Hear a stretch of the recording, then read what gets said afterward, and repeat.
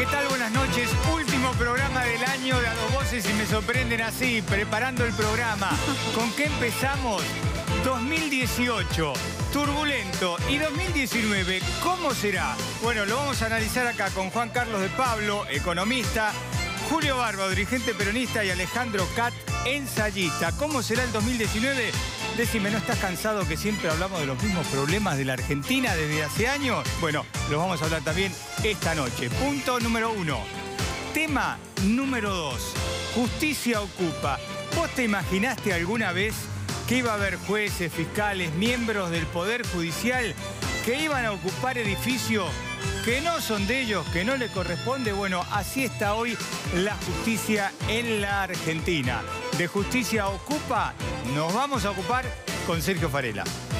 Así es, Edgar, porque vamos a contar cómo la justicia se hizo de dos edificios, no pagan el alquiler desde hace años a sus dueños y están pidiendo el desalojo inmediato de dos tribunales federales. En minutos, en a dos voces.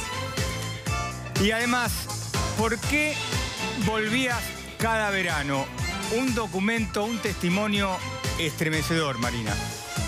Sí, Edgardo, este es el título del libro de Belén López Peiró, el libro que inspiró a Telma Fardín a hacer su denuncia contra Juan D'Artes, un libro que está sirviendo de inspiración para muchas mujeres y de explicación para muchas otras. Vamos a estar hablando con la autora el día de hoy. Así de esta manera empieza a dos voces el último programa del año. Marcelo ya está con sus merecidas vacaciones. Momentos difíciles que tuvimos que recorrer durante este año. Las tormentas sucesivas que hemos vivido también nos han fortalecido. Tenemos, insisto, grandes desafíos por delante el año que viene y espero, necesito que todos estemos firmes desde este lugar.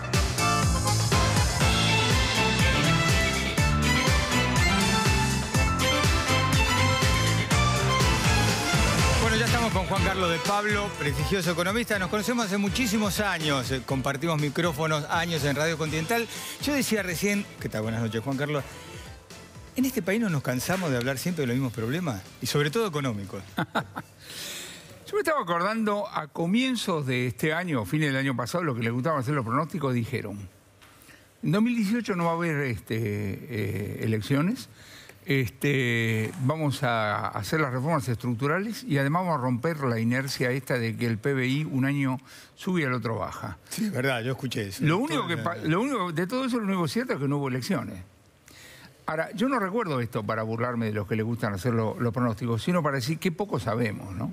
Y si qué poco sabemos nos tiene que llevar a, a ser modestos, a ser cautos, ¿entendés? Pero por culpa uno- de la Argentina, porque como es la Argentina, poco sabemos. Cuando vos tenés en un país como Argentina, que es una cosa tan volátil, saber es mucho más difícil que en un país mucho más, eh, digamos, este, tranquilo, cosas por el estilo. A mí cuando me dicen que meta de inflación en Nueva Zelanda funciona, yo digo que en Nueva Zelanda todo funciona, Nueva Zelanda todo funciona y nadie sabe por qué, porque todo tira para arriba, entonces es muy difícil desligar una razón por la otra. Acá Dependiendo de cuál vos le dice, no, veníamos fenómeno por la sequía, veníamos fenómeno por el resto del mundo. Y otros dicen, veníamos fenómeno, pero el programa, todo tira, digamos, para el mismo lado. Lo que quiero decir es lo siguiente, este, es un país complicado, es, eh, digamos así, hay que tener buenos diagnósticos. Ahora, yo te digo, yo hago un punto siempre, desde el punto de vista del análisis de lo que son los procesos decisorios. Las cosas no ocurren, alguien las hace ocurrir por alguna razón o cosa por el estilo.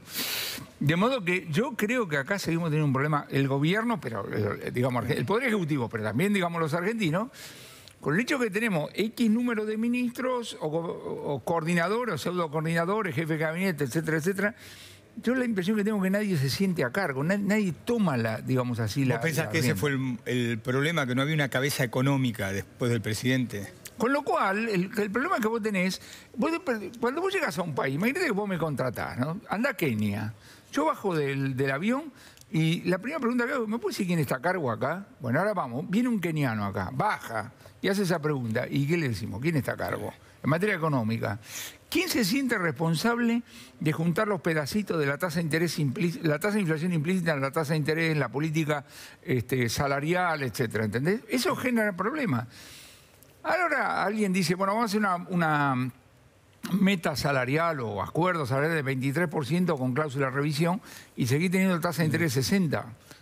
Alguna no anda. Vos no podés tener una tasa de inflación, una tasa de interés de este nivel con una pauta, este, eh, digamos, salarial de este nivel. Ahora, pero ¿por qué le chingaron tanto? Porque en un momento del año nosotros acá hablamos, a mí que me gusta tanto el tema político sindical, decíamos, corralito del 15% quería el gobierno, como Cristina quiso en su momento también otros corralitos de aumentos salariales, porque la inflación va a ser del 15%. ¿En qué se equivocaron tanto?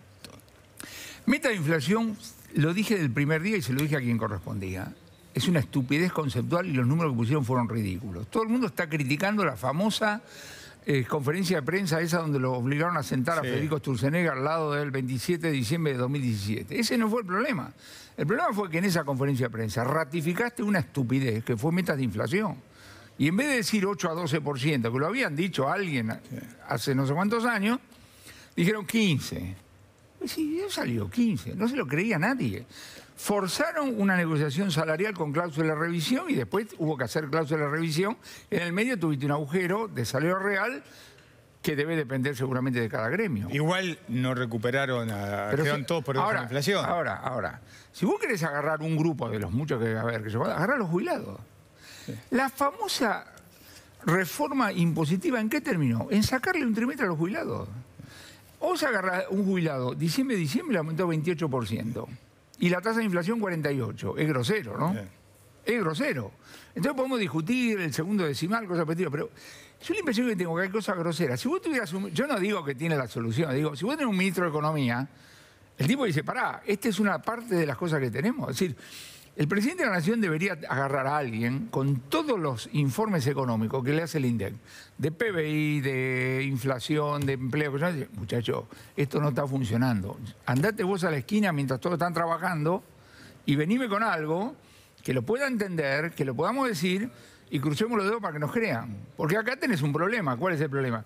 El gobierno no empieza hoy, hace tres años empezó. De modo que el beneficio de la duda que vos le das a un gobierno hoy no se lo das. Con lo cual, el programa hoy tiene que ser mucho más duro de lo que era para ver si te creen. A ver, ¿qué quiere decir? Porque cuando un economista dice un programa más duro, uno dice, me agarro los bolsillos.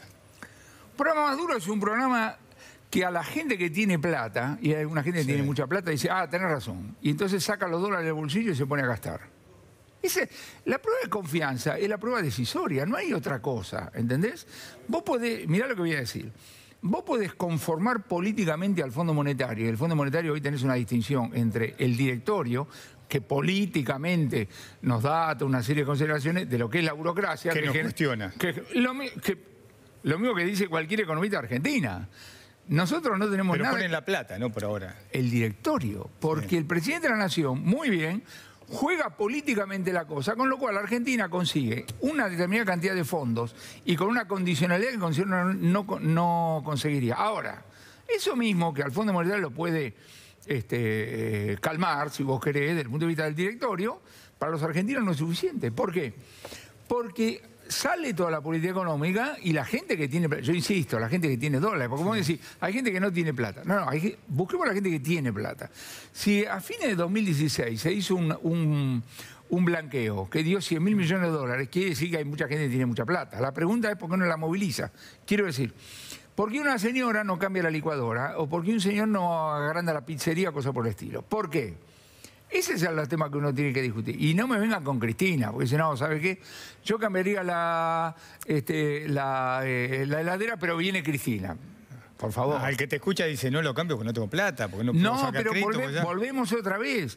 La cuestión no es el que no tiene plata, la cuestión es el que Sí. tiene plata, pero dice, ¿sabe qué? No, ¿sabes qué? ¿Qué? Bueno, el- el- la incertidumbre, la falta de confianza es una cosa que aparentemente es absolutamente etérea y sin embargo muy concreta. ¿Por qué? Porque afecta la toma de decisiones. Afecta la toma de decisiones. Hace poco fui con mi mujer a, a- a cambiar la heladera. ¿Por qué? Porque se me rompió la que tenía. Me encontré con otras tres personas que también se le agarró la heladera. ¿Cuánto vendió el fabricante de heladera? Cuatro. ¿Cuántas había fabricado? Diez. De las cuales cuatro pensaba vender a los que se le rompió la heladera y los otros seis, porque hay gente que dice, ¿sabes qué? Ahora como pinté la cocina de otro color, entonces la heladera la tengo que cambiar. En condiciones normales, Vos haces ese tipo de cosas. En condiciones de una crisis, de desconfianza, cosas por el estilo, esa ladera que en condiciones normales te parecía una porquería, la lustrar, la cuidás. Entonces, el señor que fabrica ladera y vende, en vez de vender 10, vende 4. Y cuando se normalice va a vender 16. Eso es lo que vos tenés que movilizar. Ahora, no se le ve la punta, pero lo que quiero decir es lo siguiente. Yo no estoy diciendo que mágicamente vos nombrás a alguien con el- la función ministro de Economía y sale todo para adelante. Lo que digo es, me resulta muy difícil ver cómo se puede hacer sin ese tipo de cosas, porque vos lo que estás recibiendo hoy de las autoridades son muchas señales, muchas contradictorias. Pero vos ves que Macri tiene plafón a un año electoral como ese de tomar el riesgo ese. Si modifico gabinete, pongo un super ministro de Economía y Primero no juguemos con la idea del superministro. No, no, pero vos dijiste, un ministro de Economía, yo te puse super. Cuando vos tenés la responsabilidad ejecutiva, si vos crees que volás por el aire, eh, lo tenés que hacer. Y acá hay una cosa muy importante. Mira, volvamos a las casas. En tu casa debe haber cosas que no funcionan perfectamente, como puede ser el picaporte, una vida, pero podés vivir con eso. Ahora, si vos tenés la bañadera que se está derramando, no puedes vivir con eso. O sea, la pregunta es la siguiente. Vos tenés hoy empresas, no una, un montón de empresas que están endeudadas, tienen esta tasa, le cayeron las ventas, la presión impositiva, etcétera, etcétera. Vos podés decir con tus amigos, bueno, viene la selección y después. Y el tipo te va a mirar y dice, ¿cómo hago yo para llegar a las elecciones? ¿Entendés? Los datos que vos estás teniendo en los últimos meses de caída de venta, caída de producción, suspensiones, qué sé cuánto, son dramáticos. Entonces digo, son dramáticos. Entonces, el Poder Ejecutivo tiene una responsabilidad, valga la redundancia, ejecutiva. Que un pedazo de las energías la use para las elecciones me parece bárbaro. Que la oposición dedique el 100% a las elecciones también me parece bárbaro. Ahora, cuando vos tenés una responsabilidad ejecutiva, tenés que ocuparte de eso. Eh, ¿Vos te acordás, en los años que nos conocemos, las veces que hemos hablado del riesgo país, que er- era el cuco? Sí. Nos, nos olvidamos durante mucho tiempo del riesgo país. Y estos días volvemos a hablar de, otra vez del riesgo país. ¿Es para preocuparse? Es para preocupar. Va, vamos despacio. O vos hablabas de confianza. No, bueno, depende, depende con quién estás hablando. Ahora, escúchame una cosa. ¿Qué dato tenés en la Argentina? ¿Qué dato público vos tenés en la Argentina diciendo que el Estado Argentina, cuando lleguen los vencimientos de estos bonos, va a tener la plata para pagar? Ninguno. Porque en el mejor de los casos, el objetivo fiscal es llegar a déficit primario cero. Quiere decir, voy a cubrir todas las erogaciones, menos el pago de los intereses, y ni te hablo de los vencimientos, ¿eh? con ingresos. Y el resto, ah, por ahora me da plata el fondo, etcétera, etcétera. El fondo te espera, pero te va a como cobrar. siempre. Te va a esperar, pero te va a cobrar, te va a decir, avisa, decime cómo lo vas a hacer para... para este". Hoy el Estado argentino está funcionando sobre la base de que algún Papá Noel va a venir, y va a venir, y va a venir, y va a venir. Y eso a veces deja de ser cierto. El riego país está mostrando eso. Nota pie de página. Podría, podría, soy un experto, podría haber un detallecito adicional que es el tema que dicen que está por salir a la reglamentación del impuesto a la renta financiera para los títulos públicos. Fue una barrabasada hacer la renta financiera. Bueno, ahí ya, digamos así, digamos, podría ser eso. El resto es simplemente que el tenedor de un bono dice, ¿me puede explicar cómo lo van a pagar? Ahora, esto no necesariamente quiere decir default. Esto quiere decir que algo puede pasar en el futuro, algo quiere decir que puede llegar algún canje voluntario de deuda, etcétera, etcétera, o que finalmente derrapás. Decime una cosa, porque ahora ya vamos a hablar del dólar. ¿Y cómo haces para pagarle a los jubilados todo esto que viene a partir del fallo de la Corte? El fallo de la... Yo no soy un experto, pero te digo una cosa, el fallo de la Corte... ya, Primero al, señor ese que ganó el fallo, primera cosa es decir, no gasté esa cuenta, señor, no lo conozco, ¿no? No, no gasté esa cuenta porque esto, de acá que cobres, bueno, y no sé cuánto. El grueso, me parece que no son estos juicios, me parece, capaz que estoy hablando. El grueso es que vos tenés 9 millones de compatriotas que tienen un carnecito que dice jubilado, de los cuales 6 millones pusimos algo y sacamos algo, 3 millones no pusieron nada y sacaron algo. Y muchos de los tres que no pusieron nada no lo precisaban, porque la forma en la cual fue... El nivel de joda que hay, tenemos un millón de jubilados por invalidez. Un millón de jubilados por invalidez. Yo digo, ¿vamos a hablar en serio alguna vez? Sí. Vamos a revisar, a ver. Porque me parece que algunos van a ir al- al- a la... Sí, pobre jubilado, no vamos a echar la culpa a los jubilados de todos los no, males. no es un problema. ¿Ves? Perdóname. Te voy a pegar, ¿eh? Volvamos. No te estoy diciendo eso. Lo que estoy diciendo, pongamos sobre la mesa algunos niveles de jodas cuantitativamente importantes. Ahora, todo eso lo tenés que analizar y plantear en, en simultáneo, porque de lo contrario, todo parece una venganza. ¿eh? Yo me acuerdo hace unos meses se discutió el impuesto al turismo, ¿viste? El impuesto al turismo. Yo dije, ¿y quién dijo el impuesto al turismo? Los que no les gusta viajar. Y hay otros que quieren poner el impuesto a los de River, son los de Boca. Otro al de Neuquén, porque todo así, no. Vos decís, muchachos, tenemos que poner esto en caja, fenómeno. Júntense un conjunto de tipos y diga, sí, sí, sí. y tenés que hacerlo en simultáneo, para que vos tengas la sensación de que yo estoy poniendo algo y el, resto va a poner. El 3 de septiembre de este año, el presidente de la Nación dijo, señores, tenemos que hacer un ajuste, bueno, está bien. Viene Duhovne y dijo, la mitad la pone el sector privado, la mitad la pone el sector público. Yo a los añitos que tengo dije, la mitad que pone el sector privado la veo clara, la otra la quiero ver. Y ya siguió, 60-40, 70 va 98-5 a 0-5. ¿Por qué? Porque en la mesa de negociaciones se sientan funcionarios, se sienta el presidente, los gobernadores, los intendentes, los diputados y los senadores. Los que pagamos los impuestos no estamos representados. ¿Entendés? Entonces, a mí cuando me... Cada vez que vos haces una pregunta, no, imagínese, momentito, derecho adquirido. A mí me dicen, "Oh, derecho adquirido, yo digo, perdón, da la impresión que la suma de los derechos adquiridos es tres veces el PBI. Hay un solo PBI, ¿eh? Ahora, en la Argentina, ya que decís que siempre hablamos lo mismo, en Argentina, los cambios de la política económica se dan cuando el que tiene la responsabilidad cree que realmente se cae por el abismo. No es un tema de discusiones intelectuales.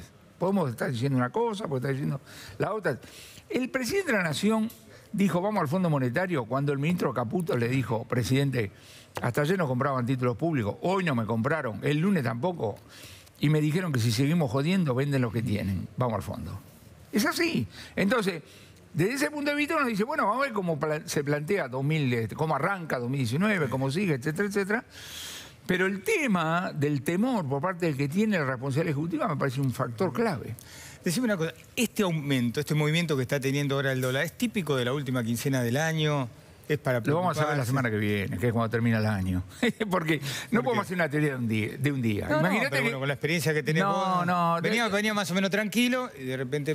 Cuando un dólar está tranquilo, porque las tasas están acá arriba, agarrate Sí. Catalina. Empecemos por ahí, ¿entendés? Es decir, vos tenés que mirar simultáneamente tasas dólar. Los dos primeros meses de 1990, después del Bonex, subieron la tasa y el dólar los dos Sí. simultáneamente. Y vos dijiste, nos vamos, viene el diluvio universal, saquemos entrada para el arca de Noé. Cuando bajan los dos, decís, ah, cuando uno baja y el otro sube, es una cosa transitoria. Es una cosa transitoria. Yo te iba a hacer un comentario que me tocó ir por una cuestión de llamar al banco, hacer un trámite y escuchaba a dos personas que decían, nada, ver, cliente común, eh, che, ¿qué hago? Eh, ¿Compro dólares o sigo en, en tasa? Y el que te da en tasa dice, no, quédate en las tasas, todavía están altas las tasas, ¿para qué vas a ir al dólar? Este, ¿Es un comentario acertado? No lo hizo Primero. ningún economista, Pará, eran dos, pará, pará, dos pará. personajes que estaban pará, dentro del banco. Primero, yo aprendí a hacer una... Nunca le preguntes a tu peluquero si necesita un corte de cabello. El tipo dice, si seguís en la tasa, sigo haciendo operaciones. Con el dólar capaz que pasa la- o lo que sea. Vos lo que le tenés que decir a cualquiera, que me- a mí me- tres veces por día me lo plantea, le digo, perdón. Si usted se ah, renueva el plazo fijo en pesos, ¿eh? ¿Esta noche duerme? No, compre dólares, basta. ¿Por qué? Porque lo importante es dormir. Lo importante es dormir. Ahora, lo que vos no tenés que hacer, y nadie tiene que hacer, es comprar buzones. ¿Y Si qué es comprar buzones? Comprar buzones quiere decir, las- eh, como el dólar está quieto, entonces la tasa de interés es 5% mensual en dólares. Es un buzón, viejo, porque en cualquier momento se da vuelta. O vos crees ahora ¿eh? que Argentina es un país tan maravilloso que puede pagar una tasa de interés de 5% mensual en dólares, producto de la productividad. la no. Entonces, es todo digamos así, transitorio. Bueno, vos podés agregar y decir, bueno, a mí me gusta jugar hasta el último momento, metele. El 6 de febrero de 1989, Machinea, presidente del Banco Central, bajó la cortina. Algunos tipos compraron dólares el día anterior, los felicito, pero carambola. Sí. Y otros creían que lo iban a comprar en marzo de 1989 y se quedaron pegados. ¿Qué crees? Ahora, Ahora, ¿el drama cuál es? sí. El drama es que esas dos personas que estaban, digamos así, en el banco, dicen, ¿qué puedo hacer para, entre comillas, salvarme? Sí, bueno, claro, ese es, Bueno, ese es el pensamiento de ellos. Pero este es el drama. El Pero de drama, todos los argentinos no es ese. el drama, somos hipócritas. pero es parte del problema, es parte del problema que tenemos, la sensación de que si este, encontrás en el ómnibus a un economista, el tipo te dice, compre bonos de compre, te salvás.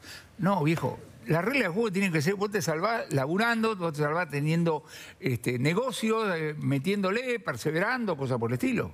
Que es una cosa que tenemos que rescatar, ¿entendés? Es decir, en esta Argentina, lamentablemente, hay pocos negocios, particularmente el sector formal de la economía, pocos negocios blancos. Porque después de generar, eh, digamos, eh, como, perdón, ganancias, después de pagar los impuestos, queda poco. Cuando yo fui a la facultad, 1960, 1964, a mí me enseñaron que el grueso de las inversiones, las empresas, las financian con generación interna de fondos. Después me dijeron que los bancos, el crédito, sigue siendo cierto. El, si vos no generás, si después de pagar los impuestos, hoy generas muy pocos fondos, tenés que tener una perspectiva tan brillante de tu negocio que en el momento que salgas al mercado a ver qué puedes hacer, es lo más probable es decir, bueno, y vamos. Y están los otros que, como te digo, tienen, digamos, esos fondos y dicen, bueno, ¿qué apuro tengo? El drama que, vos tenés- que nosotros tenemos, porque acá la reactivación está a mano privada, no pública. El Estado no está en condiciones de hacerse va la bomba, como decía Keynes o cosas por el estilo, es que la mayoría de los tipos dicen, ¿qué apuro tengo hacerlo? ¿Qué apuro tengo?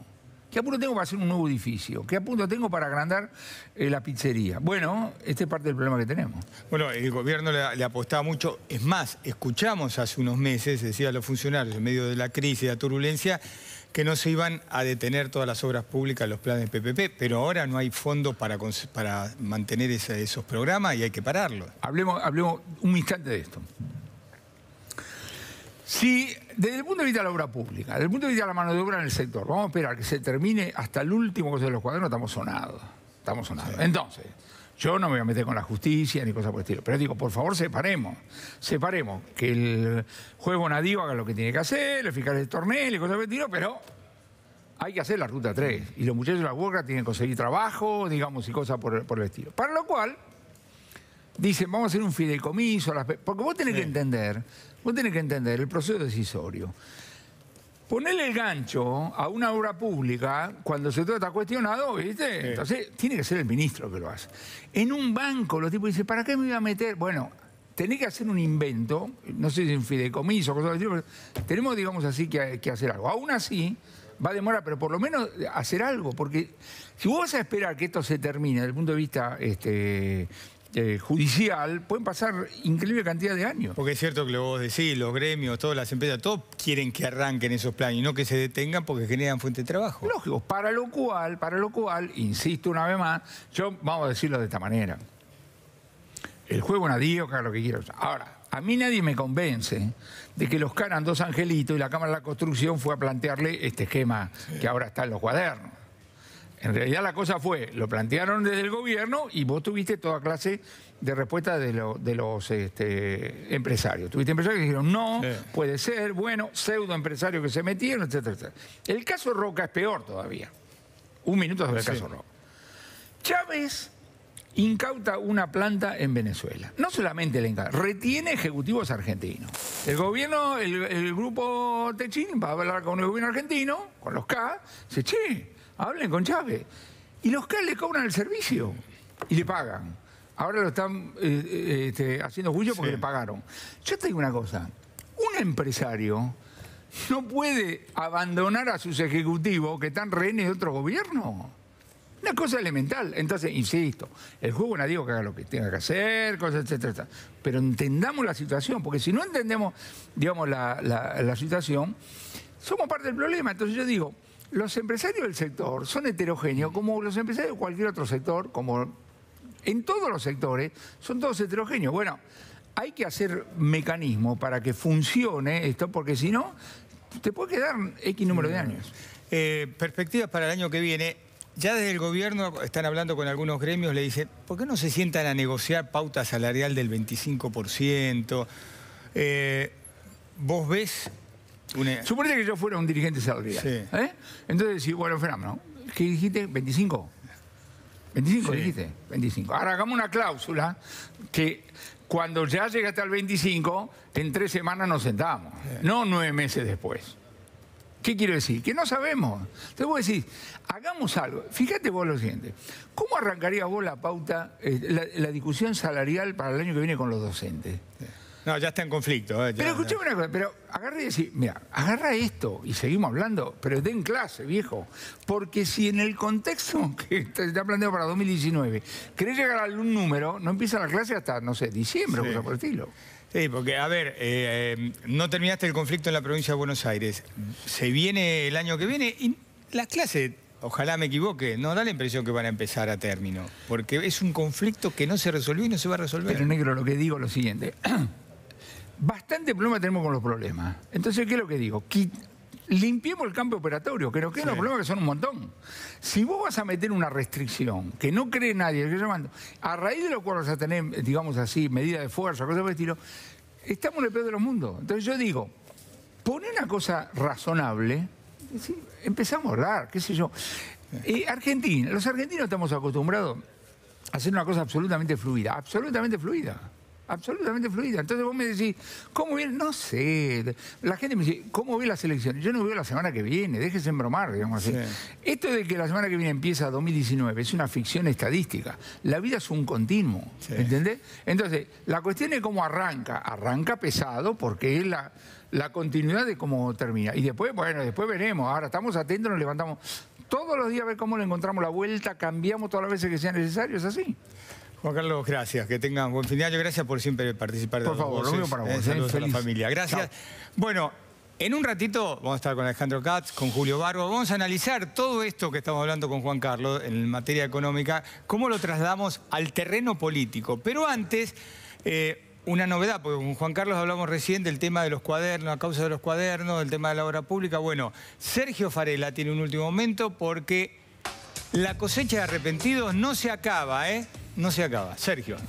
Sí, así es, Edgardo, hasta el último día del año, ¿no? Juan Manuel Campillo, ex ministro de Hacienda del gobierno de Santa Cruz, también titular eh, a nivel nacional del disuelto organismo ONCA, eh, se acaba de eh, justamente someter a la figura de imputado colaborador, con lo cual con el fiscal del caso, eh, Carlos Estornelli, acordó ser un nuevo arrepentido. Hizo una declaración, claro está, en la que aportó información sobre todo lo que tiene que ver con la venta de bienes que la justicia sospecha que es parte de aquellos que fueron comprados con el dinero obtenido de manera ilegal. ¿Cómo? Bueno, a través de los sobornos que pagaron los empresarios. Así que Juan Manuel Campillo por ahora sigue detenido. Falta que Bonadío, el juez del caso, homologue este acuerdo. Si lo hace, va a salir en libertad, va a seguir investigado. Pero los eh, voceros judiciales aseguran que es una declaración muy, muy, muy enriquecedora para la investigación. Así que seguramente va a haber novedades porque se decretó el secreto de sumario. Cuando es así,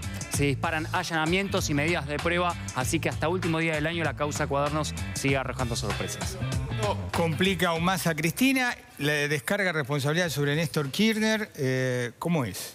Sí, exactamente. Campillo era una persona sobre todo muy cercana a Néstor Kirchner. E incluso ya en la justicia se lo venía investigando en otra causa que no tiene nada que ver y le antecedía la causa de los cuadernos por lavado de dinero, porque había un testimonio de una ex empleada de Campillo que aseguraba que era el valijero de Néstor Kirchner, que movía la plata del matrimonio Kirchner a paraísos fiscales. Así que sobre eso versó la declaración como imputado colaborador, es decir, como nuevo arrepentido del caso de Juan Manuel Campillo. Ya volvemos, gracias Sergio. Alejandro Katz, hablamos recién con Juan Carlos Pablo.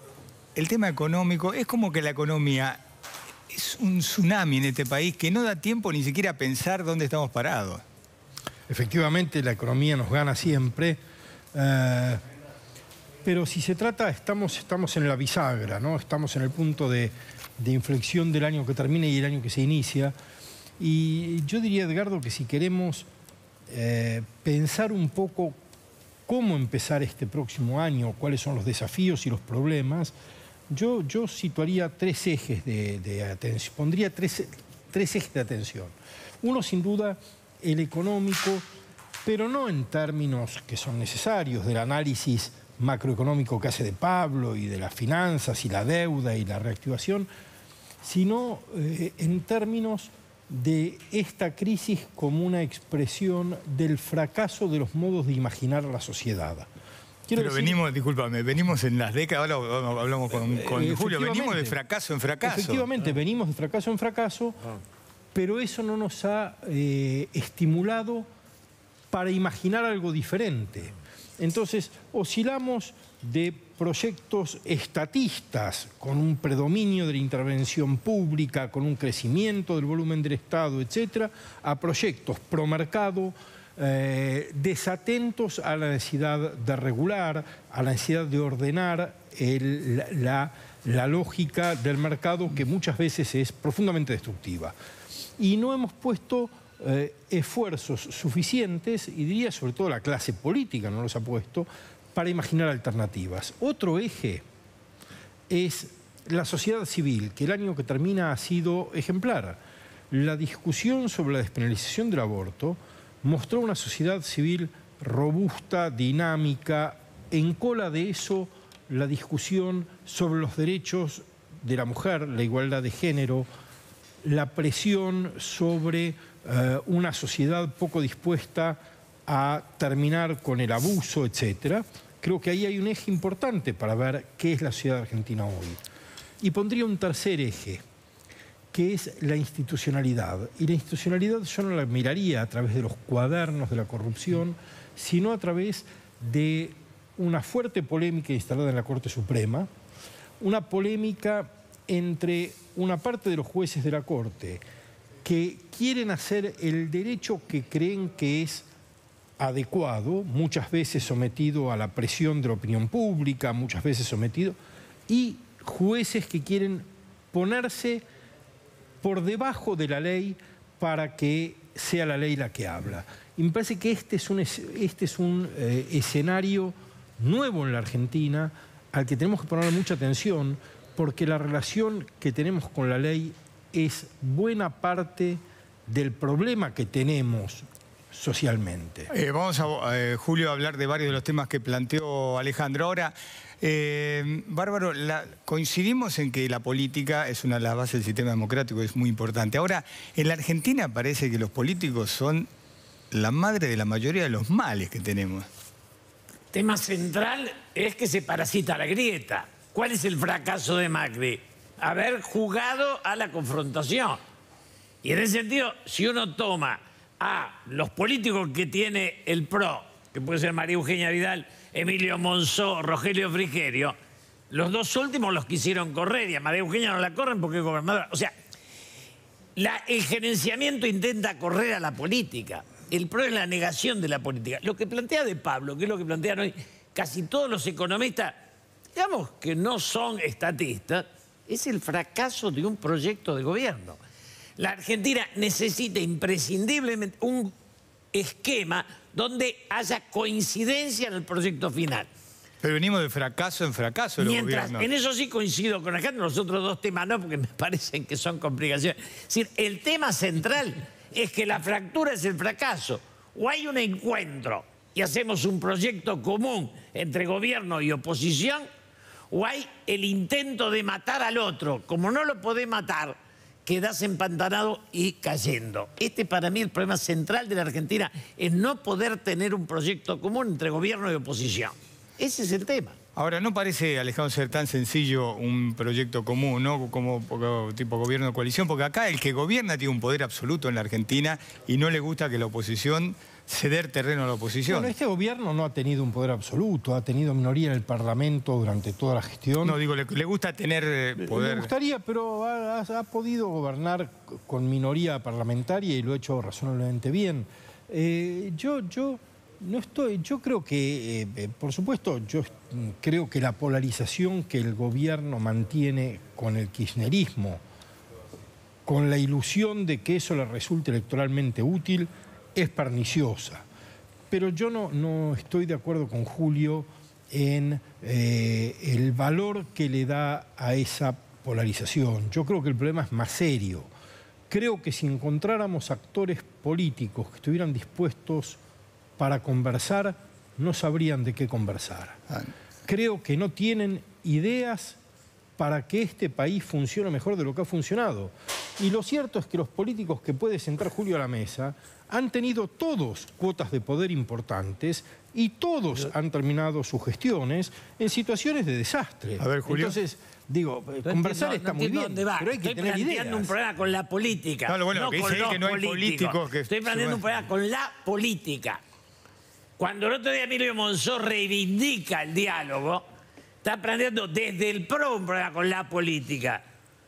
Y, cuando te dicen que Frigerio va a ir para allá, y digamos, lo que hay es un fracaso del personaje Mauricio Macri y su conflicto con la política. Él, Durán Barba y Marquitos Peña son básicamente la explotación del conflicto.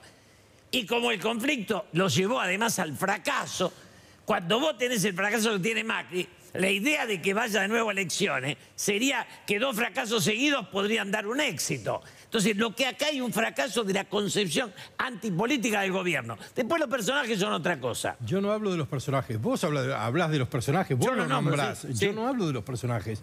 Yo creo que el problema es un problema de ideas y de imaginación política. Mm. Creo que el país no ha encontrado un esquema de desarrollo sustentable. Ha tenido un modelo de desarrollo que fue razonablemente exitoso del país agroexportador de principio del siglo pasado, ha tenido un proyecto razonablemente exitoso de sustitución de importaciones. Desde los años 70 no se ha podido formalizar un proyecto de desarrollo y alinear actores sustantivos para que ese proyecto se pueda llevar adelante. Y ese proyecto sigue sin estar. Pongamos a charlar a quien querramos, cerremos las grietas que querramos si no tenemos una idea clara de cómo gestionar este país, de cómo producir, de dónde, de qué conflictos resolver, del modo en el que nos integramos a un mundo complejo y del mundo en el que defendemos la eh, economía interna que hay que defender, del modo en el que calificamos gente para algunas tareas y entendemos que hay gente que no va a poder integrarse en la economía global. Si no resolvemos esto, no hay ninguna, ninguna conversación que pueda ir a ningún lado. Y Coincido lo que no hace la ¿eh? política, Coincido- lo que no hace la política es discutir Coincido esto. que no tenemos proyecto. Ahora, el gobierno no le puede devolver a la sociedad la esperanza, porque desde De Pablo a quien escuchen, todos ven una situación de conducción de extravío. Entonces, yo coincido con vos.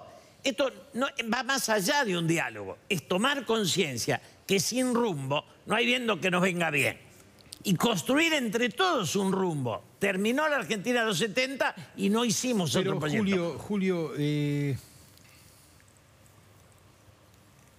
el, el modo de construir entre todos es en la deliberación y en el conflicto, fundamentalmente a nivel parlamentario, pero no exclusivamente.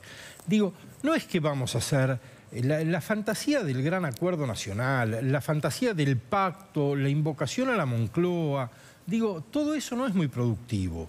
Es productivo tener una idea y convocar a los actores que la puedan llevar adelante. Y lo que quiero decir es, eh, tu visión yo la entiendo, pero en vez de que vos estás analizando la coyuntura electoral del año próximo, No. y yo digo, sea cual sea el resultado de las elecciones del año próximo, si no cambiamos el modo de pensar el país y a los actores con los que lo hacemos, si no pensamos profundamente cómo renovar lo que hay aquí, hagamos lo que hagamos en las digo elecciones, una cosa clarita. esto va mal. Macri podía haber dado el paso a convocar a ese debate.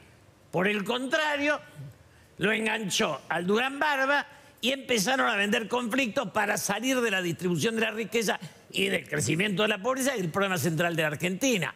Entonces, básicamente, él creyó tener una receta exitosa y fracasó.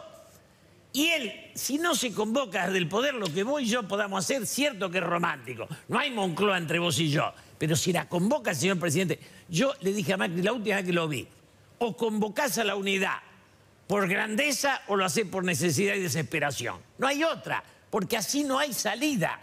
Nosotros no sabemos si el default lo va a conducir Cristina o Mauricio.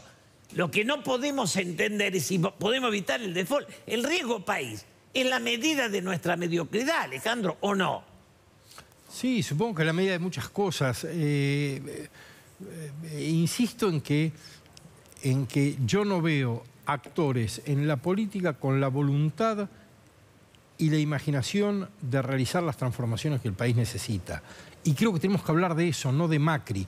Quiero decir, porque si yo hablo de masa, lo que tengo para decir de masa no es mejor que lo que tengo para decir de Macri. Más y lo que tengo para decir de Cristina es peor que lo que tengo para decir de todos. Yo digo que se hace decir- desde el poder, no desde la persona. Pero por decreto no se puede. No, no, no. No es por decreto, por convicción. Yo no mezclo ni masa ni Pichetto. Yo Tampoco digo, es un problema el que de conduce unidad. no lo hizo Cristina y no lo quiso hacer Mauricio. Y venimos en bajada, porque cada uno cree ser dueño de una receta exitosa. Y la de digamos, ni Cristina contiene el peronismo, ni Mauricio contiene eso que llama la nueva política. Hay un 40 o 50% de gente que se queda afuera. Eh, eh, yo lo pondría en estos términos. Yo creo que lo que Argentina tiene por delante es una serie de inmensos problemas, todos ellos irresueltos, algunos de ellos resolubles. Parece que estuvieras hablando del 83 para acá, porque... Y tiene Eh, razón. Edgardo, pero es lo que tenemos. En del eso 83 coincidimos, para ¿eh? acá. En Quiero decir, eso- yo diría, ver, no, por- yo la diría dictadura fue del una cosa tremenda. sí. 75 para acá, del Rodrigazo para acá, cuando menos lo que hemos tenido ha sido esto desde el punto de vista del modelo de desarrollo económico y social. Desde el modelo, desde el punto de vista político, sin duda no, sin De duda. Rodrigazo para acá coincidimos plenamente. Es el momento del quiebre de un proyecto, de un modelo. Así es. Y, Ahora, no hicimos otro. y no, hubo lo estamos gobierno haciendo. que lo haga. Y no lo estamos haciendo. No lo estamos Y no lo estamos haciendo y me parece que no hay actores dispuestos a hacerlo. Yo creo que hay algunas cosas básicas.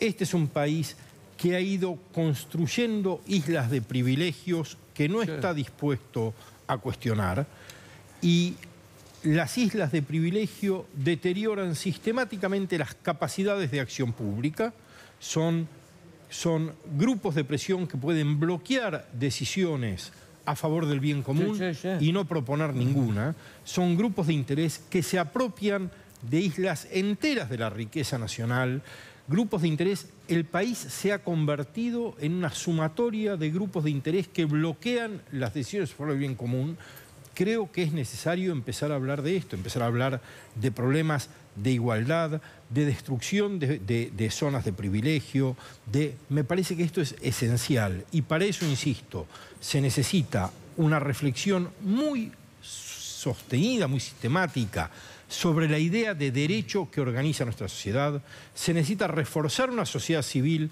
que es robusta y que tiene capacidades de transformación y se necesita una acción política que ponga algún faro claro y que esté comprometida con eh, la lucha contra grupos privilegiados que dificultan el progreso común. Yo en eso coincido. Creo que la Argentina, el gobierno, es débil frente a los grupos privados de beneficio. No solo que son desde los No gobernadores solo hasta las empresas. No solo privados. No, son- no, privados solo y públicos. No solo privados. Hasta a, a los grupos, digamos. Donde vas a encontrar sectores políticos, vas a encontrar de todo ahí.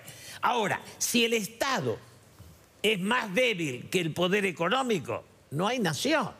Necesitamos un Estado que sea más fuerte que todos esos pedazos a los cuales vos y yo nos referimos. Yo creo que Y a, lo que es el Estado- derecho adquirido. tenemos que un estado que sea un estado que sea más capaz, no necesariamente más fuerte. Más- más responsable. Y nuestro estado ha perdido capacidades y hay que reconstruir las capacidades de acción estatal. Ahí coincidimos. Katz, Bárbaro, gracias por haber estado en el último programa del año. Que tengan muy buen fin de año con su familia. Gracias. Muchas gracias por la invitación. Eh, en un ratito vamos a hablar de la justicia ocupa, si aunque no lo creas, hay jueces, fiscales que están ocupando lugares que no les corresponde. Y no digo una fiscal, ser juez o ser fiscal. El lugar donde trabajan. En un ratito antes, hablando de política, mirá cómo Tino y Gargamusa prepara el veraneo de los políticos. ¡Feliz Navidad, Tino! Gracias, felices fiestas, que haya amor y paz. Sí, Tino. Estas épocas son ideales para rehacer la relación con ese amigo con pileta al que insultaste todo el año. Hablando de espacios recreativos, vamos a ver a dónde se van de vacaciones los políticos. Y dale. Eh, mira, Tino, Cristina y su familia se fueron de vacaciones a Suiza. Es verdad, mirá cómo esquían los tres en esa montaña de guita. En cambio, Vudú se fue a veranear acá nomás a un puente en medio de la ruta 2. Es lo máximo que le permite la tobillera electrónica, Tino. La ministra de Desarrollo Social, Carolina Stanley, no se decide en qué lugar vacacionar. Eh, verdad, Tino, ella siempre está llena de planes.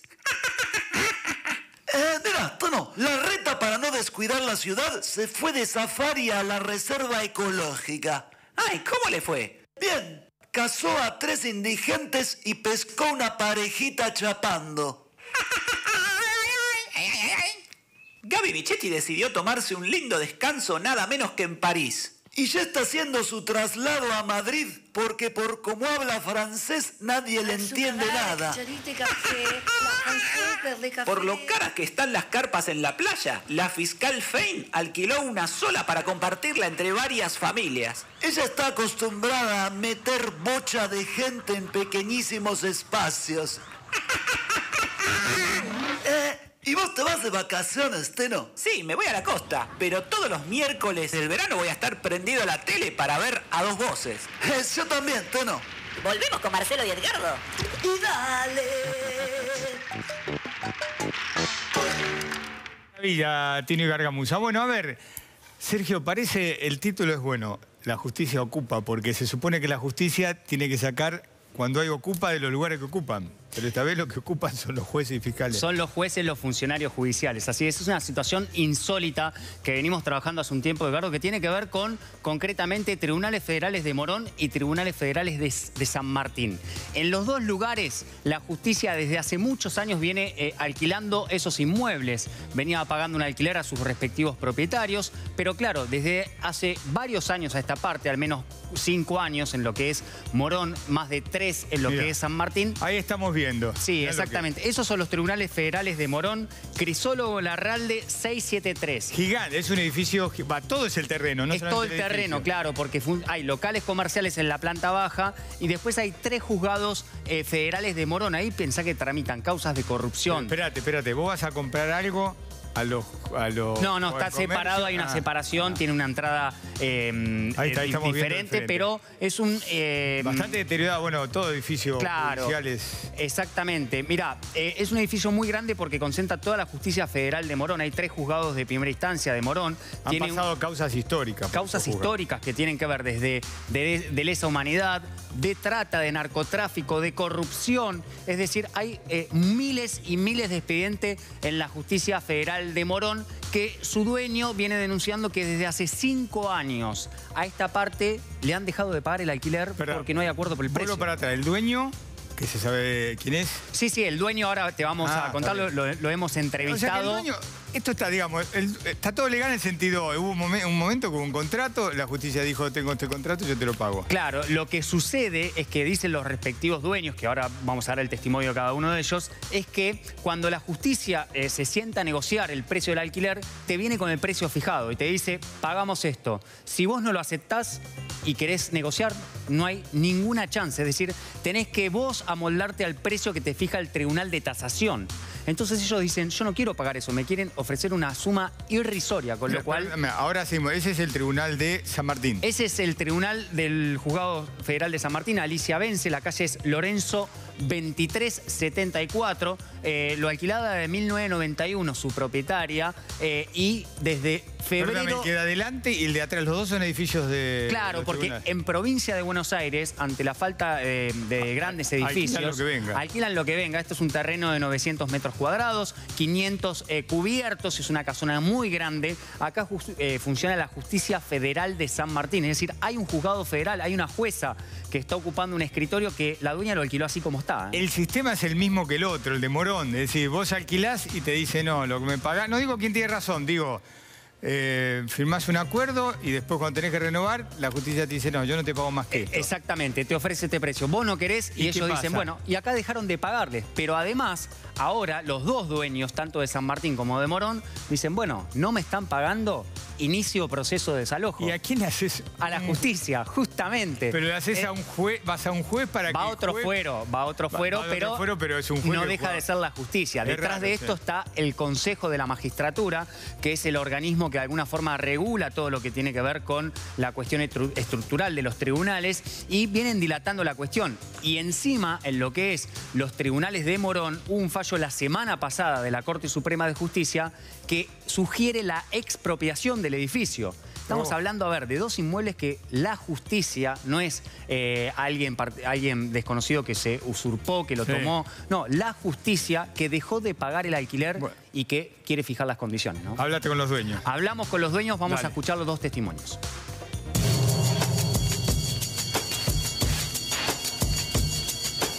Jorge, usted es el dueño del edificio donde funcionan en la actualidad los tribunales federales de Morón, ¿cierto? ¿Cómo es la historia de ese, de ese edificio y qué es lo que está pasando? Bueno, nosotros, es, eh, eh, o sea, mi familia hace aproximadamente 40 años compró la propiedad, había un, en realidad compró un, un terreno para demoler, o sea, lo, lo poco que había era para demoler, había unos locales comerciales, este se demolió y se hizo un edificio. Hicimos un edificio y después, bueno, eh, en un momento eh, vinieron del, de un juzgado a, a preguntar a ver si podíamos, eh, si estamos interesados en alquilarle. El martillero manejó la operación y le alquilamos una parte del edificio. Nos vimos forzados a iniciar la demanda porque hace cinco años que no nos pagan. ¿Y qué están pidiendo? Y primero que nos paguen. O sea, digamos, siempre nos centramos en eso. Ahora, cuando, no, cuando vimos que después de eh, prácticamente dos años, dos años y medio de negociaciones, este, no nos pagaban, dijimos, bueno, la única, la única alternativa, primero lo que hicimos fue intimar el pago. Este, no nos dieron ni cinco de nada y siempre eran respuestas dilatorias o de repente cuando decían que había una propuesta, después eh, argumentaban una propuesta y después eh, el momento de avanzar un poco en esa propuesta ofrecían menos que antes. Y después al final no nos quedó más remedio, como última alternativa, iniciar el juicio de desalojo.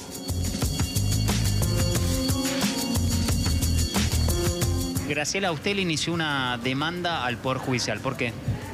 por desalojo, porque están sin contrato alquilando una casa de mi propiedad, eh, no pagan desde febrero de 2016, iniciamos juicio por desalojo y hasta el momento no tenemos ninguna novedad. La casa sigue en poder del Poder Judicial y nosotros no recibimos ninguna contraprestación, eh, ni tenemos la posibilidad de vender ese inmueble o alquilárselo a otro.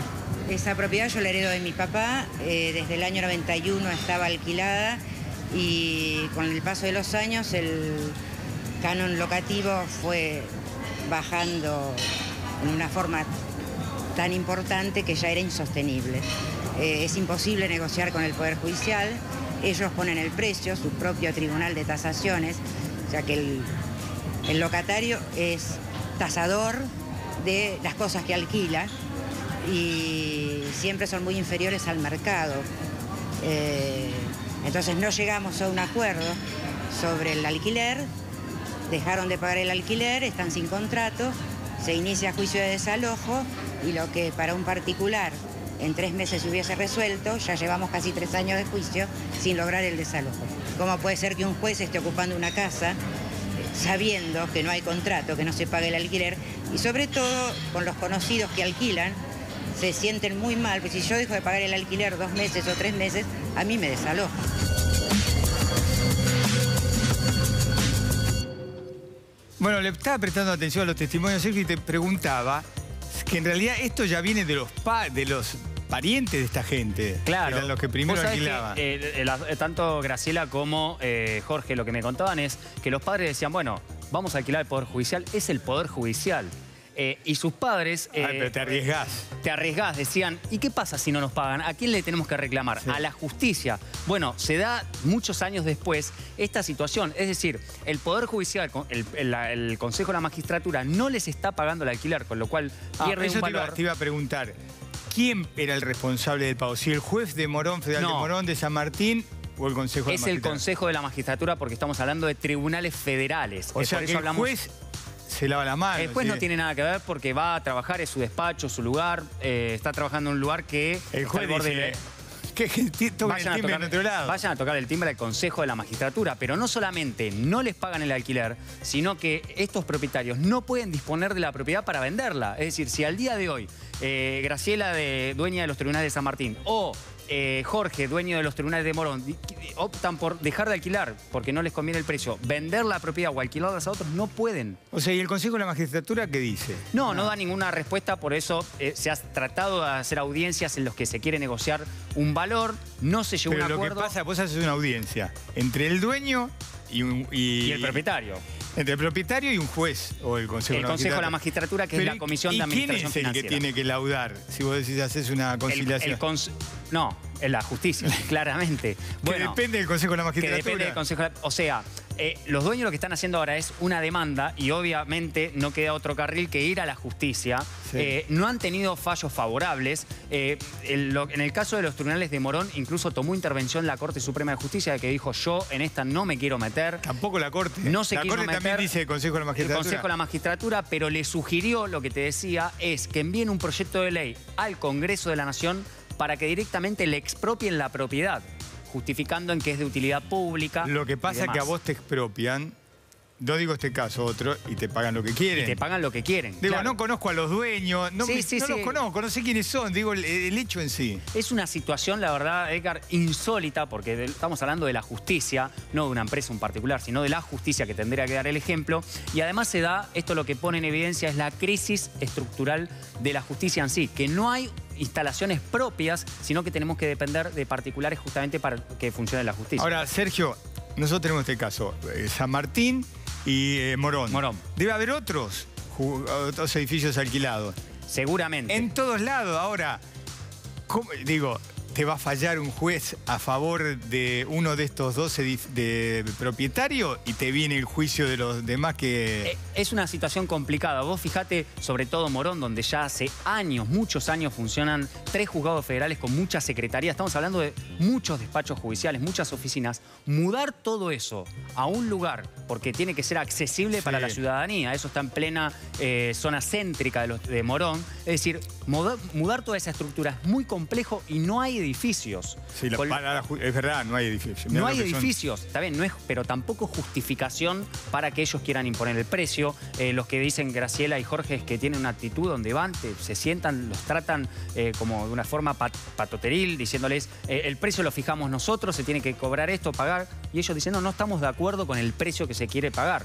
Son los dueños, bueno, tienen la, la facultad de querer alquilarlo o no. Decime, en general, los edificios de juzgados que vos ves, no los grandes, ¿no? De- eh, tri- tribunales. No sé, Comodoro Pi, si es de, de la justicia. Comodoro Pi también depende del Consejo de la Magistratura, a tal punto que la crisis también Pero es Pi. edificio propio. Es no edificio propio. Pero digo, los que no son propios, vos ves muchos edificios viejos, antiguos en Buenos Aires o en la provincia que vos decís, ¿y estos son, deben ser la mayoría alquilados? La mayoría son alquilados. Los tribunales provinciales eh, durante el peronismo también se hicieron muchas obras, por eso Lomas eh, o San Isidro tienen tribunales que eh, la estructura es muy parecida porque se han hecho los tribunales provinciales. Pero claro, sobre todo los nuevos juzgados, como es los tribunales federales de San Martín, Morón no tanto. Es decir, no había edificios, el Poder Judicial salió como alquilardo y lo hizo. Desde entonces no se preocuparon en buscar edificios propios, una estructura propia. Y ahora se están viendo las consecuencias, ¿no? Donde están queriendo desalojarlos a los jueces y a funcionarios judiciales. Decime una cosa, yo no tengo para alquilar ni una maceta, pero no pondría algo en alquiler entonces al Poder Judicial. Yo te diría que por las dudas no, porque después vas a tener que ir a la justicia. Bueno, hacemos una pausa. Después, eh, ahora Marina lo va a presentar porque nos vamos a meter en un eh, testimonio realmente que te va a conmover y mucho, Marina. Sí, Edgar, vamos a estar hablando, mira, de, de este libro, ¿Por qué volvías cada verano? La autora es Belén López Peiro, que ya está acá con nosotros. Belén, muchas gracias. Después de la pausa vamos a hablar con ella. Es la primera vez que sale en vivo en televisión. Este libro fue la inspiración para Telma Fardín antes de hacer la denuncia por violación contra Juan D'Artés. El título encierra una pregunta y encierra algo que a mucha gente le resulta difícil de comprender. Belén, desde su caso, nos va a tratar de ayudar a pensar en este tema. ¿Por qué volvías cada verano? A la vuelta de la pausa en A Dos Voces vamos a hablar de abuso. Noticia en a dos voces la trae Sergio Farela y tiene que ver con el gremio judicial. Sí, así es, Edgar. Concretamente, Julio Piumato se encadenó frente a una comisaría. Está sucediendo en este momento en la comisaría 43, en el barrio de Floresta, y es en reclamo por la detención, según señala Piumato y los afiliados del gremio, una detención arbitraria de una funcionaria del Ministerio Público Fiscal de la ciudad, de las fiscalías de la ciudad. Eh, según cuentan Piumato y la gente que está protestando, es que eh, en horas de la tarde esta funcionaria estaba trasladando a su mamá en silla de ruedas. Eh, la- una rampa para discapacitados estaba ocupado por un vehículo. Hubo una discusión. Bueno, fue pasando a niveles mayores hasta que, eh, bueno, el, el auto sufrió un- una bolladura por parte de esta mujer. La detiene la policía y desde ese momento está en la comisaría 43. Eh, la idea del fiscal que tiene el caso es indagarla en horas de mañana. Por eso Piumato está reclamando para que sea liberada porque consideran que, claro Sergio. eh, no- es eh, desmedido la, la- la actitud de la fiscalía. Sí, mi vista no es falla, el que estábamos viendo ese es Piumato, el que se le ve la mitad de la cara y el brazo que está gesticulando y hay una baranda. Me parece, eh, ahí está, mira, ahí vamos despacito, así el director, ahí está, el móvil se pueden acercar, ahí lo vamos a ver a Piumato, ahí se nos está yendo, pero a la izquierda, donde está la luz y donde hay una cámara de televisión, eh, ahí está encadenado, eh, ahí está, ahí lo vamos a ver a Julio Pi- Piumato, el que estamos viendo, está sentado en unos escalones. Exacto. Atrás está la policía y me parece que se va conociéndolo Piumato, se va a quedar un rato largo ahí. Sí, sí, sí. Además está convocando a, gente del gremio. Bueno, todo el método de protesta por la detención de esta funcionaria que ellos dicen es desmedido eh, por eh, un altercado que no amerita eh, este tipo de decisión por parte del fiscal que tiene el caso, que la va a indagar por daño mañana a esta funcionaria del Ministerio Público Fiscal y justamente en reclamo para que sea liberada están llevando a cabo esta protesta frente a la comisaría y Julio Pimato desde hace unos minutos nada más se encadenó en lo que es el acceso a esta dependencia policial. Ya volvemos con eso, Sergio, gracias. Eh, Marina, bueno, estamos con Belén López eh, Peiró, es escritora, autora, periodista, autora de ¿Por qué volvías cada verano? ¿Cómo estás? Gracias por acompañarnos esta noche. Belén, yo le decía a Marina hoy, antes de venir por aquí, estamos en, en la redacción de TN, que yo valoro muchísimo el coraje de mujeres como vos que han sufrido estos dramas y que después lo vuelcan en un libro, lo hacen público y sobre todo dan la cara, que no es un tema sencillo. Sí, es transformar eh, quizás una historia de violencia en una obra que, puede, que me ayudó a reconstruirme y a sanarme a mí y que sirve también a un montón de, de otras mujeres, ¿no? También hacer ese camino de poder transformarlo y no quedarnos en ese lugar de víctima. ¿Por qué elegiste este título? ¿Por qué volvía cada verano? Y porque es la primera pregunta que te hacen cuando hablas, cuando decís que, que viviste una situación de violencia, de abuso. Eh, lo primero que hacen es cuestionar a la mujer que denuncia, es decir, bueno, ¿por qué no hablaste antes? ¿Por qué volvías cada verano? Poniendo la culpa en el lugar de la mujer y nunca en el victimario, porque nadie le pregunta, bueno, pero ¿por qué abusaste? ¿Por qué violaste? ¿A dónde volvías vos cada verano? Al pueblo de mi familia, en la provincia de Buenos Aires, Santa Lucía. Quería poner un poquitito esto eh, en contexto, ¿no? Para, Sí. para contar, esa es la, es la primera pregunta que hace el libro. De hecho, abrís y es, es la pregunta, además de- desde el título, es el, el lugar donde ocurría este, este abuso, que ocurre dentro de- del marco de, de tu propia familia. Eh, eh, vos, digamos, da- das la cara, eh, lo digo con, con comillas, en, en muchos niveles, porque hiciste este libro, pudiste avanzar judicialmente, judicialmente también. ¿Cómo fue ese proceso de, de- de poder reconocer que algo te había pasado y que tenías que hacer algo con eso? Mira, la pregunta no vino de mi parte, sino que me la hicieron, me la hizo mi mamá. Y fue ahí, una vez que me preguntó si algo había pasado, eh, yo tuve que, que pensar de verdad qué era lo que había vivido y fue un proceso difícil de reconocerme víctima de una situación que no es nada fácil, pero es imprescindible registrarlo, porque si no lo registras, lo aceptás, no puedes transformarlo. Entonces, el primer momento de decir, bueno, sí, yo viví esto, me pasó esto, tratarlo en terapia, reconstruirlo, contarlo, contárselo a mi familia y tener la suerte de que me crean, de que me acompañen, de que no me hagan esa pregunta, sino que me digan, bueno, porque claro, como mamá, como papá, ¿qué harías si tu hija te dice que vivió una situación de violencia? ¿Le preguntarías por qué no me lo dijiste antes o la acompañás?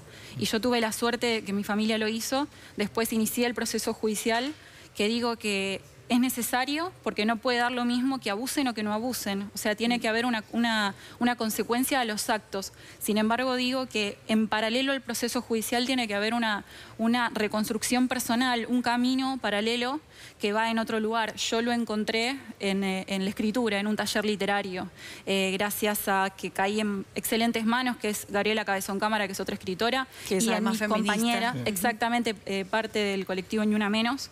Eh, y me pudieron dar ese- esa contención para lo que genera el empoderamiento, que empoderamiento es cuando las mujeres nos damos cuenta de que esa situación de violencia no nos anula, no nos expropia el cuerpo, sino que puede ser una herramienta para transformarlo en, en- en fuerza, en valentía, en una obra que puede ayudar a tantas personas. Ahora, eh, está buenísimo cuando te acompañan, como decís, porque hay, Marina, muchísimas mujeres de todas las clases sociales que le piden mantener en secreto todo lo que pasó, ¿no? Es que yo siempre, por lo menos esta última semana, lo que dije es, el caso de Telma y el mío somos dos en un millón. Es una problemática que creo que eh, la verdad es que todavía no hay realmente dimensión de lo que pasa. Entonces, que Telma haya podido hablar y que, digamos, yo haya podido escribir este libro, me parece que, habla de la importancia de poder hablar, no para satisfacer un otro, sino para nosotras poder empezar a hacer otro camino, porque si no es como todavía sigue siendo un tema tabú, es un tema que te cuesta hablar, crees que, no sé, si sos en mi caso, no sé, tengo 26 años y al principio pensaba, bueno, parece que te dañara como mujer, que dañara eso, y la realidad es que no es así, eh, sino que al contrario, es, eh, hay mucha fuerza. Yo eh, eh, tomo, digo, esta pregunta, ¿por qué volvías cada verano? Es algo que aparece en, en el libro con el cuestionamiento. Digo, parte de tu familia te acompañó, esto fue un, abuso intrafamiliar, con lo cual hay parte que obviamente no, incluso de, digamos, eh, chicas de tu propiedad, parte de, tu propia edad, digo, parte de la familia que decidieron no, no creer y todas las cuestiones que se cruzan en historias de este tipo, que es también una trama económica, una trama de, de- de poder eh, eh, familiar. Parece que, el libro se anima a, a- meter, si vos te animas con este título, a meterte en algo que es lo que se le pregunta muchas veces a las mujeres, que es ¿por qué, por qué es tan difícil para los demás entender lo difícil que es llevar adelante este, este proceso? ¿Cuánto te costó a vos llevar adelante este proceso? Un montón, principalmente el, el- proceso de ir hablando, de, de irme animando.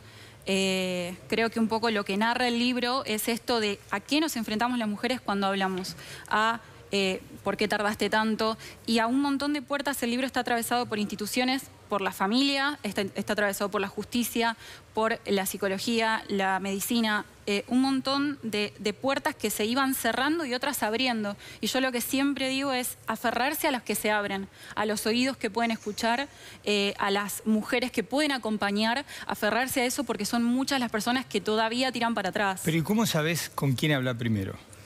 Y me digo que no, no es que la realidad es que es medio por intuición. Puede ser familiar, puede ser una amiga Es o que- un amigo. Vamos por, por partes. El, intra- de- el hecho de que sea intrafamiliar es la mayoría de los casos. Entonces, a veces Es es, que muy cuando salió lo de. Telma nos dijeron, a ver, uno más o menos lo intuía, póngale un ojo a lo intrafamiliar. Es que siempre hay, eh, eh, es impre- eh, impresionante la, la proporción. Y vos mencionabas a, a- a Telma, y, y de alguna manera Telma contó que había leído este, este libro, que, que- que lo recomendó a través de su cuenta de, de Instagram. ¿Vos la conocías cuando pasó eso o te enteraste por redes sociales? ¿Cómo, cómo fue ese encuentro con Telma? La conocí meses anteriores, eh, todo telefónicamente, a partir de Luciana Pecker, que es una periodista y escritora.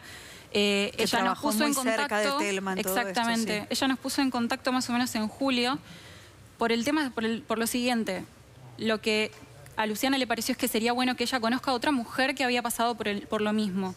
Realmente en ese momento en el que te tenés que enfrentar, y en el caso de ella, al ser una, una- una persona pública, no solamente a la familia, sino también al mundo del espectáculo, a la justicia, encontrar otra mujer que haya vivido una situación similar y que le diga, mira, Telma, sí, va a ser difícil, sí, vas a tener un montón de trabas, situaciones, pero se puede salir. O sea, hay un camino y la vida no empieza ni termina con el tipo adentro. Es así de sencillo. Decime, eh, Belén, ¿cómo tomaste el caso, bueno, sí, creo que debes estar al tanto, de estos chicos, tres hermanos, que el mayor se animó ahora y denunció al padre que abusaba, este, maltrataba de los tres, por lo menos de dos, está comprobado de los tres. Y él, él dijo, bueno, ahora, no sé si tiene 28 años, ahora se animó, un caso en A- Quilmes. hacerlo público. Él había Hacerlo ido a la público. justicia, ahora lo hizo público para tratar de tener justicia. Digamos, es como que es- muchos se animan a hacerlo público para que esto a su vez motive a otras personas. Es que sí, o sea, yo siento que tenemos una enorme responsabilidad las, personas que tenemos las herramientas de poder contarlo, porque son un montón las mujeres que no pueden hablar, que no tienen las herramientas para denunciar, que no tienen acompañamiento terapéutico, que no tienen unas familias que las acompañen. Entonces, que esta persona haya denunciado y más atreverse a denunciar a tu padre. O sea, es algo que, de la misma forma que yo a mi tío, que tengo un compañero de trabajo, siempre suelen ser personas en las que vos confiaste en algún momento el cuidado de determinada persona que aprovecha determinada situación de vulnerabilidad y nada, es, es el tema de aprender que eh, el amor no se paga con cuerpo, que em, la realidad es algo que tardás mucho en aprenderlo y por eso es fundamental que no solamente que los padres cuiden a sus hijos y le, le, limiten ciertas libertades, sino que los chicos tengan y las chicas tengan las herramientas para hablar de consentimiento, de relaciones sexuales, eh, de límites. O sea, me parece que es fundamental que tengan esas herramientas. Eh, a ver, los abusos, las violaciones eh, se dan en todas las clases sociales. Eso está clarísimo. Ahora, parece más difícil ayudar al que está en la pobreza o en la indigencia, porque esa mujer pues el chico le tiene mucho miedo a la violencia si abre la boca, si cuenta lo que pasó y se siente desprotegido. Y sí, porque siempre, digamos, tienen menos recursos, es lo que te decía, me parece porque una cosa es si vos podés llegar a los medios, si te juntás, actrices, todo, que está bárbaro, pero hay un sector de la sociedad que no sabe cómo hacer. Pero hoy hay, un gran sector de la sociedad también que no llega a los medios y que sin embargo hace lo suyo, digamos, en su familia, que hace el camino judicial o que si no toma medidas para poder terminar con esta situación. Porque es verdad, temen a, a la violencia, pero lo que les pasó ya es súper violento. Entonces, con cortar de la forma que sea con eso ya es súper valiente. Hay, hay como una idea de que, de, que hay un canal que es eh, lo público y otro canal que es lo judicial. Vos hablás eh, en el libro, mostrás mucho el, camino judicial. Eh, ¿Cómo te fue la, en la justicia en materia de revictimización? Una palabra de la que hablamos mucho y que, cuesta explicarla. Mira, al día de hoy yo hay fragmentos de la causa en, en, el libro porque me parece que es importantísimo y fundamental que, las, que mujeres y hombres puedan acceder a una causa de violencia de género la realidad es que se, cierran un montón de puertas en la justicia. Cuando una mujer va y denuncia, tiene que repetir lo mismo mil veces. Eh, tenés que escribirlo en la denuncia, ratificarlo, declarar, pericia psicológica. Hay un montón de... Es un proceso súper largo que lo que hace es no solo revictimizarte, sino que realmente si vos no estás bien parada con tantas herramientas, con mucha fortaleza, hace como que te expulsa. Te dice, bueno, mira, es un proceso largo. vos tenés que construir un camino paralelo para que tu vida no dependa de la decisión de una sentencia, de la decisión de un juez, sino que puedas sanar y reconstruirte de otra manera. Porque si no, o sea, no digo que no, el camino judicial es necesario, pero a la, parte, a la par hay que hacer otra cosa. Porque si no, que la estabilidad de, nosotras dependa de eso, realmente eh, es complicado. ¿Qué, te pasa con, pasó mucho con el caso de, Telma, seguramente con muchos otros, con la gente que, que las mira y dice, ¿le creo, no le creo?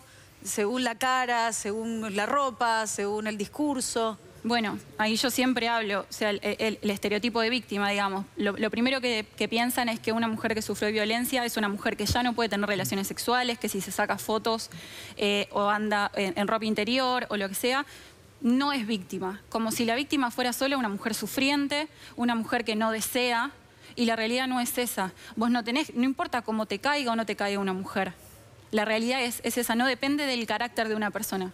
O sea, depende, la realidad es que no es grato para una mujer decir que sufrió violencia de género. Si fue violada, abusada, no importa, no, no, no, no se si se la cuestiona de entrada. Lo primero que hace es cuestionársela. Entonces, para mí, lo primero que, hay que hacer es creerles acompañar.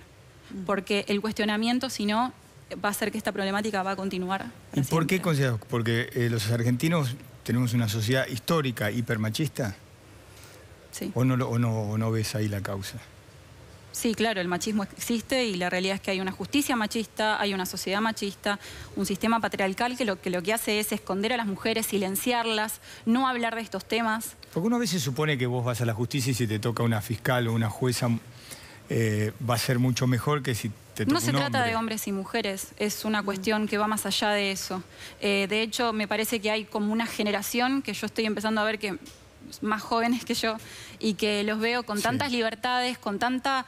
Eh, hablan de lo que tienen que hablar, llaman a las cosas por su nombre eh, y la realidad es que yo siento que para mí me hubiese sido mucho más fácil si el, no sé, si antes me hubiesen hablado de sexualidad, de consentimiento y demás. Es un cambio lento porque es generacional.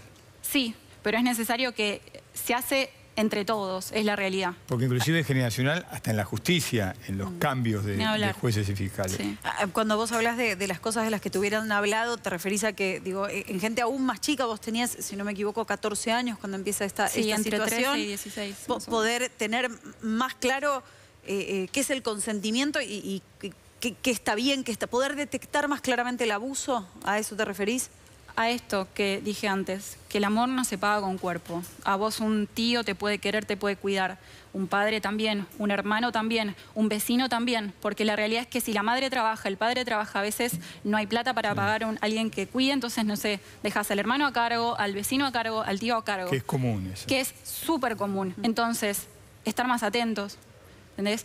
Que la nena o el nene, porque también hay casos de nenes, que sepan que no, no los pueden tocar sin su, sin su permiso, sin su consentimiento, que los padres, que las hermanas, como compañera de trabajo, si vos ves que una mujer se sensibiliza un montón cada vez que escucha una historia como esta, y la ves y, y- y de verdad tenés, sentís algo, acercarte y decirle, pasó algo, estar con los oídos más despiertos, eso es clave. Porque yo no haría, no haría en esto, no sé si está bien dicho así, no una cuestión solamente de género, porque hay muchos chicos que son violados, Sin ni hablar. muchísimos. Sí. Reciben un trato bastante, bastante parecido en, en la justicia. Sé, Belén, que, que a partir del libro, pero además sobre todo a partir de que Telma lo pusiera en, en foco de, de esa manera, te llegaron muchos mensajes. ¿Qué, qué, te dice la gente que te escribe? Mira, hay de todo. Hay mujeres que me cuentan a mí lo que vivieron eh, o que me dicen que a partir de leer el libro, o sea, al leerlo se leen, leen su historia, leen su vida. Quizás el libro le pone palabras a situaciones que ellas mismas todavía no pueden nombrar. Entonces, eso les, les permitió hablar con su mamá. O casos de mujeres más grandes, no sé, de 70, 80 años, que pudieron contárselo por primera vez a sus hijas. Entonces, me parece que es algo que mucho más de lo que esperaba y, me- y que me conmueve porque siento que se transformó primero en una herram- herramienta personal y después para todas las mujeres. Porque acá vos tenés, eh, no quiero dividirlo en dos casos, pero tenés un grupo de gente que está, vos lo ves, el que, al, al- violador, al abusador, por una cuestión generacional. Y hay gente que por ahí cuenta historias de gente que ya no está más, que murió, pero se atreve a contar, como vos decías, gente mayor lo que le pasó en su infancia. Sí, y algo importante que lo que iba a decir es que no es que el violador o el abusador tiene cara de malo, se porta mal. Es, no, al contrario, suele ser esta persona que tiene dos caras, que suele ser el, buen hombre de la familia, el que cuida de sus hijas, de sus sobrinas, el que es un galán que se vuelve incuestionable, porque como bien decían antes, es- son relaciones de poder, en donde por lo general el hombre está en mejores condiciones que las mujeres y que las mujeres solemos tener problemas para hablar. ¿Por qué? Porque, por ejemplo, yo no sé, y bueno, ¿quién me iba a cuidar el verano siguiente? Si denuncias a un compañero de trabajo, ¿a quién le van a creer? ¿Quién va a perder el trabajo? O sea, esas son, las- son preguntas que hay que hacerse, que es necesario poner sobre la mesa. Aparece esta, esta cuestión todo el tiempo en, en el libro y un, y un detalle, yo no quiero, no quiero contarlo porque creo que, que de verdad eh, está muy bueno y que, y que interpela y que vale la pena eh, eh, leerlo, pero vos no solo hablas en primera persona, vos, vos contás lo que le pasó a otros miembros de, de tu familia con esto, incluso a los que no te creen. Sí, es que me parecía que estaba bueno que hablen todas las voces y que todas las... Es así, eh, yo al principio conté, eh, narré solamente mi voz en primera persona, contando lo que yo había vivido, hasta que después me empezaron a salir voces de mi tía, de mi mamá, de mi psicóloga, del abogado, del fiscal, de la ginecóloga especialista en genitales, que cuando me vio con desgarro vaginal cuando era chica me dijo... eh, yo le dije que me había caído de la bicicleta y no, no, no cuestionó dos veces a ver si había pasado otra cosa. Entonces, cuando fui A de ver, grande... ¿por qué? Claro. Porque, pobre, no sé quién era, pero por ahí le convenía más decir, miro para otro lado Y o que- no. Supongo que es una mujer que debe tener miles de pacientes. Entonces yo lo, cuando nos vimos de grande me dijo, quizás yo el día de mañana tenga más cuidado con mis pacientes a partir de esto que me decís vos. Entonces me parece que la historia de abuso se cuenta a partir de múltiples voces que hacen las veces de ese contexto donde ocurre esa situación. ¿Qué, qué sentís cuando ves este, este tema ahora en agenda todo el tiempo? Algo que, antes se hablaba en nichos y de pronto estamos hablando de esto en televisión. Totalmente, me parece que es fundamental, que es fundamental que hombres y mujeres de todas las edades estén al tanto de esto. Eh, me parece que puede hacer la diferencia y que por fin podemos hacer. Yo creo que ya no se puede retroceder al día de hoy a, a lo que estamos hablando hoy por hoy. Eh, por ejemplo, en este canal. Me parece que ya hay un antes y un después. Estabas con, con te- perdón, No, Edgar, no, creo no, que te no, interrumpí, no, pero no, no. me contabas recién que, que estuviste en el teatro el día, el día que habló Telma. ¿Cómo fue estar ahí? Fue muy emocionante porque yo, más allá de que sabía lo que ella había vivido, obviamente viví una situación de reflejo porque ella también era adolescente cuando vivió eso, también estaba en manos de un hombre mayor eh, y lo que sentí, la principal diferencia y lo que realmente me emocionó es que yo a ella la vi arriba del escenario con un colectivo de mujeres que eran un montón, no sé si el colectivo en total son 500 personas, no sé, pero arriba del escenario estaba lleno y lo que me hizo es recordar un poco, yo eh, la denuncia la, la- la hice, si bien con el apoyo de mi familia más íntima, la hice sola. eh, y fue recién después que quizás co- conocí al colectivo Ni Una Menos, a mis compañeras de taller, y realmente verla a ella arriba del escenario con toda, con toda esa fuerza, con todas esas mujeres, es como que ese coro de voces que denunciaban eh, hacía que la voz de ella se escuche más fuerte y como que el dolor retroceda por un rato. No digo que, que- que no, no es que va a terminar, sino que puede ser de otra manera. Belén, gracias por haber estado esta No, noche con nosotros. gracias ¿eh? a ustedes. Muchísimas Gracias. gracias. Eh, una información de último momento con Sergio Farela.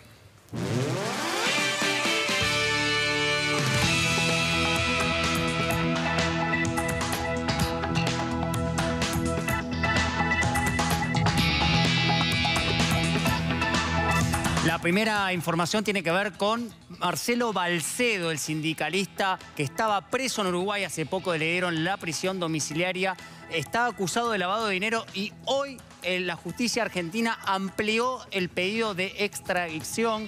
Lo había hecho en enero de este año cuando fue detenido en esa mansión del Gran Chaparral, ahí cerca de Punta del Este. Bueno, hoy el juez federal de La Plata, Ernesto Kreplak, volvió a ampliar este pedido de extradición para que sea traído y juzgado en la Argentina por lavado de dinero. Y por otra parte, otra información que tiene que ver con el ex secretario de Transporte Ricardo Jaime. Hace poco había llegado un acuerdo con la fiscal Baigún para eh, un juicio abreviado, evitar el juicio oral y público, pagar 14 millones de pesos y cumplir una condena de cuatro años de prisión. ¿Por qué? Bueno, se sospecha de enriquecimiento ilícito de él y su familia, pero ese acuerdo no llegó a buen puerto porque así lo estimó el Tribunal Oral, con lo cual le fijaron fecha de inicio de juicio oral y público 11 de marzo próximo. Ricardo Jaime Julio Devido serán juzgados por cinco causas. Enriquecimiento ilícito, la compra de material chatarra a España y Portugal de trenes y otras causas por hechos de corrupción. Así que una última noticia, un juicio que se viene 11 de marzo Devido y Ricardo Jaime. Gracias, Sergio. Una pausa muy cortita y seguimos con Marina y con Sergio en a dos voces. Bueno, llegamos al final del último programa del año, así que tenemos que brindar.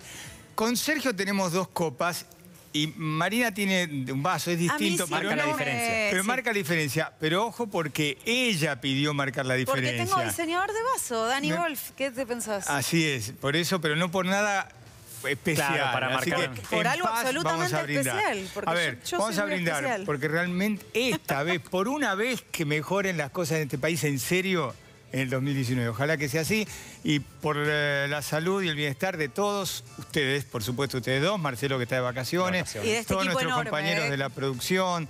Ha tenido eh, un muy buen año. Todos, eh, do- todos. eh, a dos voces. Camarógrafos, iluminadores. Escúchame, terminamos el año, déjame decirlo, con un Martín Fierro de oro. ¿Cuántas Sí. veces terminaste un, año de a dos voces con un Martín Fierro de oro? No.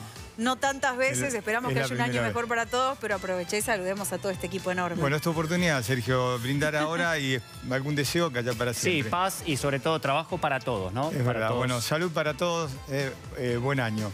Nos vemos el próximo miércoles. el año que viene. El año que viene.